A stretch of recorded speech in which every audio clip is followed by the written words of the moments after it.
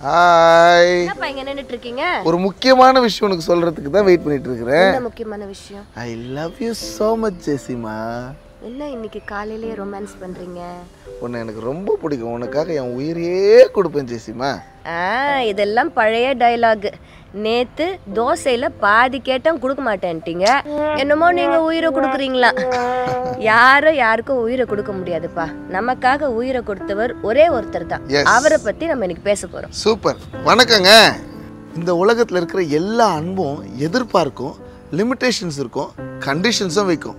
ஆனா ஆண்டவராக இயேசு கிறிஸ்துவின் அன்புக்கு நிபந்தனை இல்ல லிமிட்டேஷன்ஸ் இல்ல அது அள்ள அள்ள குறையாத அன்பு அது எல்லை இல்லாத அன்பா இருக்கிறது. அதனால தான் அது அகாப்பே அன்புன்னு சொல்லுவாங்க. கர்த்தர் என் மெய்ப்பராக இருக்கிறார் என்கின்ற வசனம் உங்க எல்லாருக்குமே தெரியும். அவர் நல்ல மெய்ப்பெண்க வசனம் சொல்லுகிறது நல்ல மெய்ப்பெண் ஆடுகளுக்காக தன் ஜீவனை கொடுக்கிறான் என்று.